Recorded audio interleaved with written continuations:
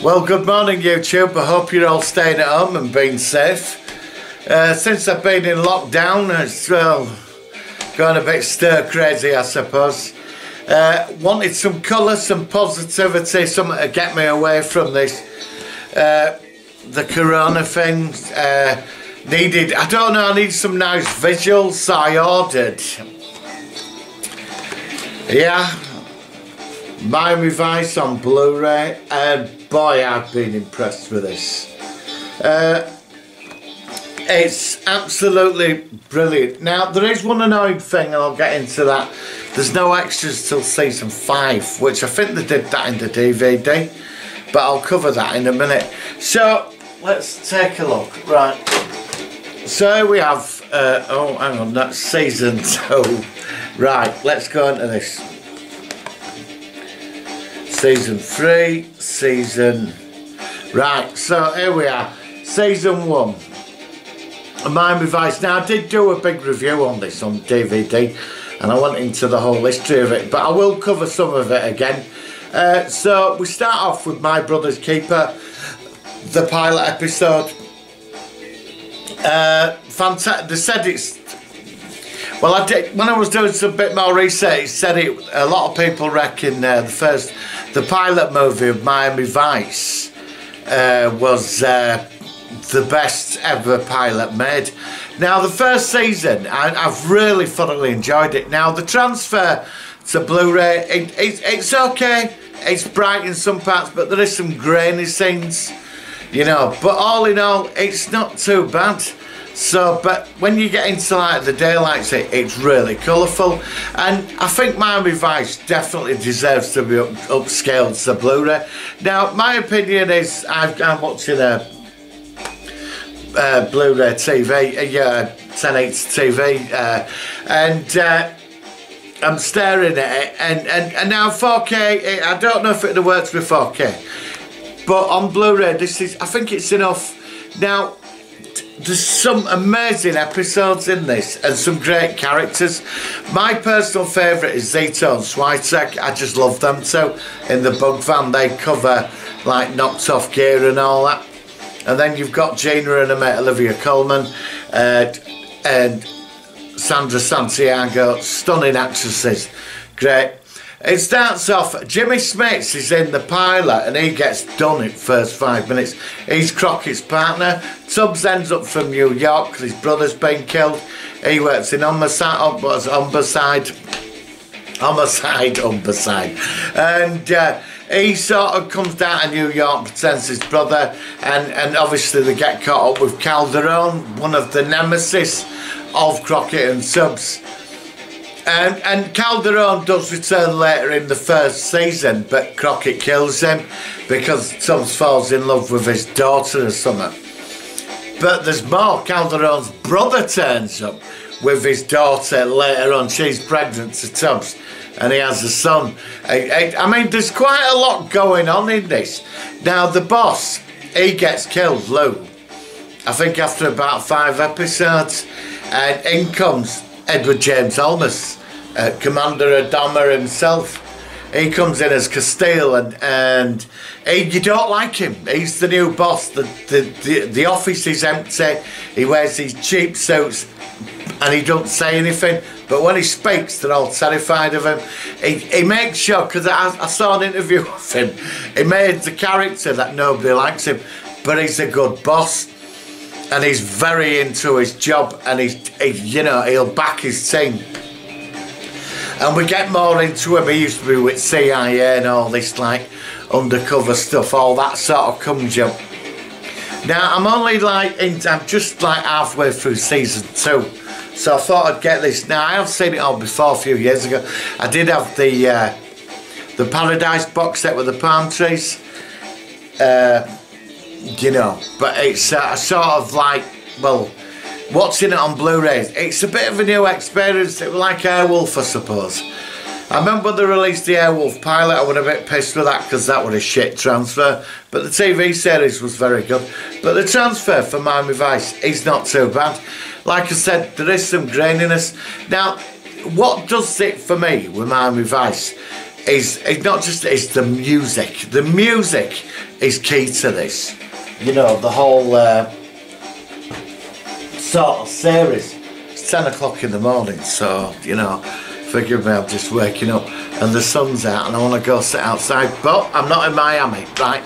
So, we get on to like the music and, and in the pilot episode, which I've uploaded a small clip, which will be in this, is the Ferrari Daytona and the wheel rims and, the, and, and, Phil Collins in the air tonight just kicking off. And you know, that is iconic, it's pop culture, there's that scene. And it's just brilliant. And, and, and the pilot episode, you get really into it. Now, I've seen all this numerous times, but it's like I'm, I'm watching episodes again and I've forgotten about them episodes. I forgot about the Nugman. Uh, is it I Love Izzy You know, the two uh, grasses on the snitches. Uh, them two really like the Nugman and uh, Izzy. I think they're funny because there's an episode where they both team up together, you know, and Switek and Zito, they, they like the, the jokey part of it all. But there is humour in this, and also there's some serious stories, and not every ending is like a happy ending. Some of the endings are quite like. There's an episode with Bruce Willis where he's an arms smuggler, but he's working for like some government department as well, uh, supplying weapons to dodgy people, and they get him, and he gets away with it because, like, I think CIS stepping on with CIA, isn't it? So, but his wife's beating his wife, like he, he, he abuses his wife, and she turns up at end. And Bruce Willis plays his character absolutely evil. Uh, you can see the star potential in him at that time. And uh, she just blows his fucking brains out. And like he's like Sonny Crockett Don John's like no! And it just pauses where he's like no and and it does sort of deal with certain uh, things in society. You know it, it, it, challenges quite a bit. Now it is very and the one thing I liked about Vice, it was very Art Deco with the buildings in Miami, you know, the old buildings and that. And, and they made them look beautiful. And and they're all filmed, it's all filmed around that and it's Colombians and Cubans and arms dealers and pimps and I mean they really go into it and there's like a sense of loyalty in the Vice Squad. Now, now I were like five episodes in and I couldn't turn it off. Suddenly I was loaded next disc up. And again, I've seen this series numerous times and I was still watching it. And you know, I'm, I'm just ploughing through the second season now and uh, we get to end at first season. But in, it, it's like what it is is the magic of Vice though is when the it takes you back to you know when you were younger, and when you sort of like the music, you get you feel quite good about yourself. You know, you get it. How do you say it? The music is. It, it, it's, it's feeling good music. There's a great scene where they go to the Bahamas to get Calderon. And when they're, when they're coming back, they've got this Tina Turner soundtrack uh, and the boat's just bouncing up and down on the sea. And it's great. Do you know what I mean? Now, look, it's over exaggerated. They're, both wearing what Armani 10 grand suits or whatever. He's driving around in a Ferrari Daytona and he lives on a yacht. so, I mean, fucking speedboat costs more than where you live. He's got this big 39 foot speedboat as well, Scarab or something like that. And he's it's outside and he's got a pet alligator, which like it's over exaggerated, but it's good fun. But there is some serious sort of grounded stories in Vice which get you sort of interested. there is a bit of stereotype on baddies. It, uh, you know, it seems a lot of certain people are dealing drugs all the time. But this is the 80s. This is the time of greed, money, sex, women, drugs, coke, and Ferrari Daytonas and Armani. This is this is the this is the decade of opulence. And and do you know what I mean? Rolex watches and Phil Phil Patek and, and rest of it. And and these guys are living it. You know what I mean? Uh, they both got a cover, Sonny Burnett and he's uh, Ricardo Cooper, and and they like they make out the freelancers bringing in coke and and all this. Uh, but it does sort of, it, it grounds itself with this fantasy sort of, well, that's what I like about because part of it is grounded and yet there's this crazy shit going on. Now, we're getting to the second season, which is just as good. And there's some great episodes. Third season, absolutely good. And then it all starts going a bit up its arse after that. It's, the fourth and fifth season is not that brilliant. You know, I, am not going to cover every single episode, but that, there is one I will get into this in a second. Let me have my coffee. Now, just let me get the Blu-rays out. Now, in third season's all right, but then it, it, loses its way then. Suddenly, I think, uh, like, I don't know, they were hottest things on TV, them two at the time. I mean, look, I used to watch Miami Vice every Monday night, half nine on BBC. I think it, would it? But at quarter past ten or half nine it was on. And it, I used to watch it every Monday. I was addicted to it. You know, I used to record it, you know, if I want in. And it was absolutely spectacular with ice. But, like, the whole sort of Blu-ray thing is, is, it should have been done years ago. Now, when we go into fourth and fifth season, it is a bit, it gets a bit, uh, it becomes a bit like a lot of stories are quite similar. The Boston Latino drug dealers every week, and and and there are like a couple of like two parts and some conspiracies, but it's pretty standard. You get the odd villain turns up. Uh, the Calderon thing is quite good. You know what I mean? Now the the beginning of season two, the prodigal son. They got New York to get the Riviera clan, these like Colombian drug dealers. Sorry, honestly, this is this. I'm only going by my advice. And, and, and it gets into the corporate conspiracy where like, you know, dodgy banks are lending drug dealers money, you know, hundreds of millions and and it's a 200 billion dollar a year industry apparently according to them and uh, you sort of get into that like the whole corporate thing which I thought might have been quite good to pursue this a bit further with, you know, it would have been, you know, and like sorted this out at the end of season three. Now, uh, there's uh, there's two, there's the two, I think it's the three part where Sonny Crockett gets married to Sheena Easton. And I, I, I mean, to be honest, I wasn't that really interested in that. It were bollocks. I mean, it were alright, do you know what I mean? But they made like this big thing with him where he, uh, you know, him and Sheena Easton. And it were okay. But like I, I don't know, it started somewhere. It, it, it's magic where it will come in. It might have been because we were moving into a new decade by this time. This is very 80s, eight, you know, 85, 85, up until 90. 90s changed. I think mentality had changed, and you can see that later in the 80s. I think music would change. Rave were coming in like acid house. All this sort of music were changing at the time. I remember late in the 80s, people wearing smiley badges and that. And, and, and drug culture is coming rather prevalent everywhere. And I think people are moving on beyond Vice. So I think it got a good run at five seasons. Do you know what I mean? But it is of its time and it's still beautiful today. You know, all right, the, the, four and five are not that good. I mean, the, the, there's some good episodes in there. A guy did a review, did the top 10 best Miami Vice episodes, uh, but most of them were in season one, two, and three. Uh, but there was one or two now there is a final. Now I think from what I've, what I've what I've read, there's four episodes on it. it never got shown on TV, but I think they are on the DVD because when they finished it, they only showed 17 episodes in fifth season. So there's like four episodes, which are most likely seen. But they did finish it on a movie where they sort of both resigned. But there was an episode. This is what I, yeah, they met aliens. Yeah, well, sort of. There's an episode. I mean, it is. Uh, actually, I will put a clip up of that episode where Miami Vice meets aliens. You're not gonna believe this. Do you know what I mean?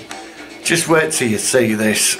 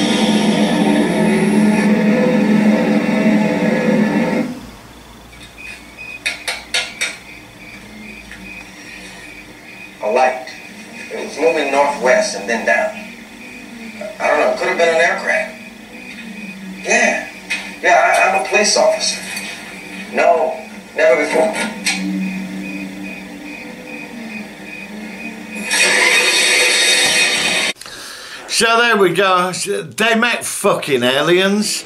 Now it's not a bad episode, it's the alien one. It's sort of like was it a dream or not? And it is fucking ridiculous. But I think by this time, you know, they were getting sort of I don't know, it got quite repetitive in the later seasons, you know. No, I'm not look, this is an excellent series, 100%. But I think after third season it was sort of a bit after fourth, it, it, were losing its way, and you know I think Don Johnson wanted out by this time because I think he were gonna. He were expecting the massive Hollywood career, which he has done well. I'm a big fan of Nash Bridges, which I'm hoping to cover at some point. I love Nash Bridges. And to me, Nash Bridges, that's Crockett 30 years down the line, you know, even Don Johnson said that. But I mean, to bring like the, the whole fucking alien thing into it was a bit silly. But he did sort of work, it's not a bad episode, the alien one. You know, and it, it's, it's was it a dream or not? Because there's a nice little twist at the end. So, Miami Vice meets aliens.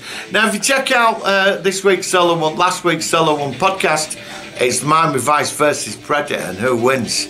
So, anyway, back on to Miami Vice. So, we'll go through the discs. Uh, right, so that's the box, the cheap nasty box. I would have preferred something more, like a bit more solid, but I'm enjoying this. I did love the Lamborghini. Now, originally, Nick Nolte and Jeff Bridges were offered parts to this, but they turned it down, and Mickey Rourke turned it down in came Don Johnson. Now, there were a lot of arguments on say he wanted more money, you know, usual Hollywood type thing. And he got he were going to leave after the second season. They were going to replace him with Mark Harmon. Seriously, yeah. Also, that you remember Chips? Yes, the California Highway Patrol, uh, Larry Wilcox. He, he applied to play Sonny Crockett, but they didn't use him because it was one police says after other.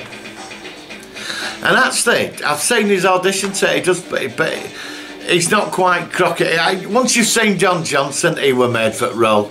You know, I don't think Larry Wilcox would have worked, but Chips did meet aliens. Yes, they did, and we won't talk about that. Poncherello stops an abduction. Don't even go there, right? So, right. So we've got all the seasons here. It's all covers the same. Right, so there's one season. There's another season. Now, I'm going to go into this. Uh, now, I'm bit, I'm bit annoyed. There is one another annoying factor about this, right? Right, so let's go to season five, right? Season five, right? There is extras uh, on the final sort of thing. So, the pulse of the rhythm glamorous is just opposed against the steamy haunts of the drug underworld and its groundbreaking action series now fully restored in high definition on Blu-ray Two cops from different backgrounds, Street Smart New York uh, Rico Tubbs, Philip Michael Thomas, and stubble-faced Southerner Sonny Crockett Don Johnson team up take on Miami's Underworld. Enjoy all 21 episodes from the fifth and final season. Final season of groundbreaking series with an amazing array of guest stars, including Ian McShane, Pam Grier, Xander Berkeley, and Amanda Plummer.